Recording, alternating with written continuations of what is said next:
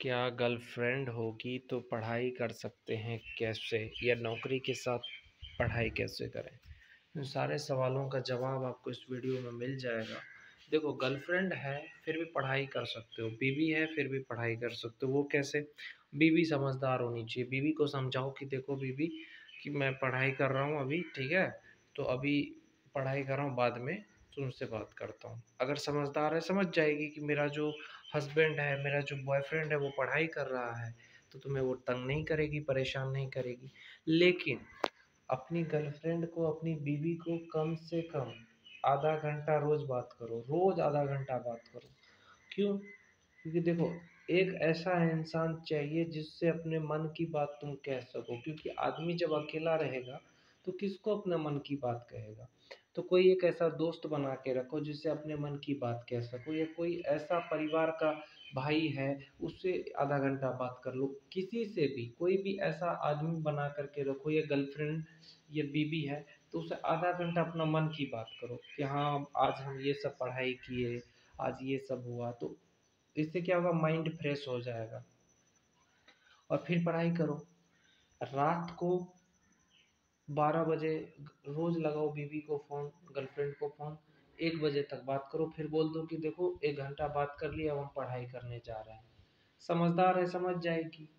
कि हाँ मेरा जो बॉयफ्रेंड है, मेरा जो पति है, वो एक घंटा हमसे बात किया, वो पढ़ाई करने जा रहा है। जो समझदार है। गर्लफ्रेंड और बीवी नहीं कहती कि हमसे पूरा बात करो, वो तुम ही करते हो। तो तुम उसको समझा दोगे, समझदार है, समझ जाएगी। ऐसा कोई भी लड़की नहीं है कि जो नहीं चाहती है कि उसका बॉयफ्रेंड कामयाब हो। और कमाई के साथ कैसे करें? जब तुम नौकरी कर रहे हो, तब पढ़ाई कैसे करोगे? तो दिन में नौकरी करो, रात को पढ़ाई करो। रात को जो टाइम मिलता है ना, जैसे दिन भर काम किया तो आठ बजे, दस बजे तक फ्रेश हो जाओ, दस बजे सो जाओ, बारह बजे तक सो जाओ, फिर बारह से एक बजे तक गर्लफ्रेंड से बात करो और फिर एक बजे से छः बजे तक पाँच घंटा पढ़ाई करो। मतलब मैनेज करना है समय को। ऐसा नहीं है कि सबको छोड़ करके सिर्फ़ पढ़ाई ही करना है। सब कुछ करते रहना चाहिए। कमा करके पढ़ो। गर्लफ्रेंड है बीबी है, फिर भी पढ़ सकते हो। ऐसा ज़रूरी नहीं है कि कई सारा लोग का तो बाल बच्चा है, फिर भी वो सफल हुआ है ज़िंदगी में। तो उससे नहीं होता है। भाई मैनेज करना आना चाहिए समय को।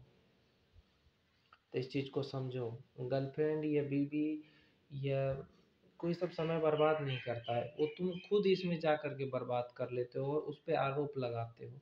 ऐसा मत करो। हर एक गर्लफ्रेंड चाहती है कि उसका बॉयफ्रेंड कामयाब हो, पति कामयाब हो, इसीलिए तो प्यार के साथ इस तरह से पढ़ाई भी होगा और प्यार के साथ काम भी होगा। अगर तुम समझदार हो तो।